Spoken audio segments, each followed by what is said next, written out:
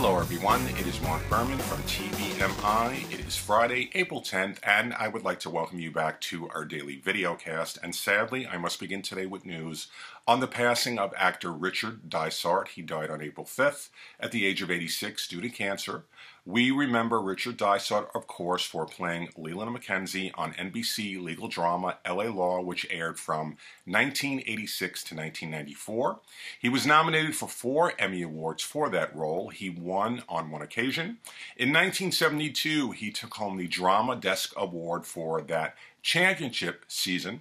He played characters over the course of his career ranging from General Dwight D. Eisenhower and Harry S. Truman to J. Edgar Hoover, and he appeared in a number of theatricals, including The Hospital, The Terminal Man, Pale Rider, Mask, and Back to the Future 3.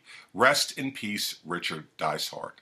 Heading over to cable, let's talk about HBO. The cable net has announced that the upcoming second season of its crime anthology, True Detective, will begin on Sunday, June 21st at 9 p.m. Eastern Time. The cast in this upcoming second season will include, excuse me, Colin Farrell, Vince Vaughn, and Taylor Kitsch. Eight episodes have been ordered, and True Detective will be leading into new comedies, Ballers, and The Brink from 10 to 11 p.m. So that is HBO, effective on June 21st.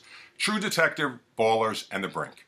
Starz has announced that its upcoming new drama series, or drama limited series, Flesh and Bone, will open on Sunday, November 8th. I have a complete description for you on Flesh and Bone in today's newsletter and at our website in the world of syndication. The two shows, or two of the shows that will never end, will outlive us all, Wheel of Fortune and Jeopardy have been renewed through the 2017 18 season. That will take Wheel of Fortune through 35 seasons and Jeopardy 34. Wheel of Fortune is hosted, of course, by Pat Sajak, and Vanna White is uh, the person who turns the letter, She has the easiest job in show business.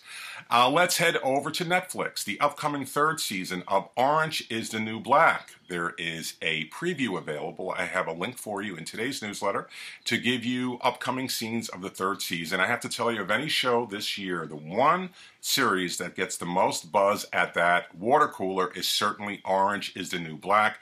Everybody loves it. I have to get into it. I've seen it.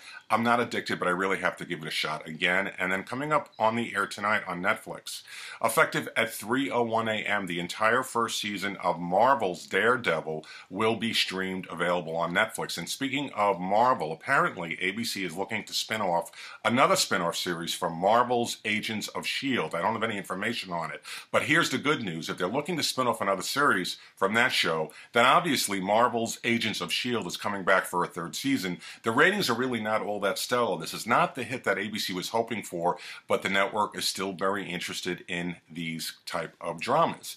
Today in TV history, let's go back to 1988. We had the debut on Fox of America's Most Wanted, hosted by John Walsh, who I have had the honor of meeting on a few occasions. Now, it began in 1988. It went off the air in 1996. Fox decided to cancel it. Well, two months after canceling it, Fox decided let's bring it back. So America's Most Wanted stayed on Fox through 2011, ultimately was canceled again, what appeared in a series of specials on Fox, then moved over to one final season on Lifetime. So America's Most Wanted on this day in 1988, I remember it premiering like it was yesterday. And I'm sorry to say that the show is no longer on the air. I think this was a very, very important series, but John Walsh is still very active in that field of looking for uh, fugitives. And that is our daily video cast from TVMI on this 10th day of April. I hope everybody has a great weekend, and I will see you back on.